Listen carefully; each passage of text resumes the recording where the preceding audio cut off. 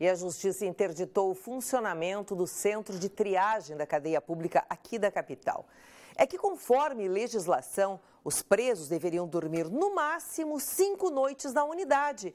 E alguns deles estavam lá há 60 dias. O centro, localizado atrás da penitenciária da capital, tem capacidade para abrigar 96 presos. Em um primeiro momento, foi determinado pelo júri o prazo de 20 dias para que os presos provisórios ficassem apenas cinco dias no local. Mas, como alguns detentos estavam há 60 dias aguardando vagas no sistema prisional, foi decidido o fechamento do centro de triagem.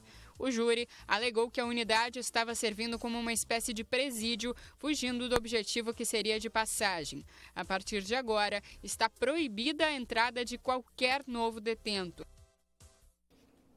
A Superintendência dos Serviços Penitenciários, a SUSEP, pediu reconsideração da sentença.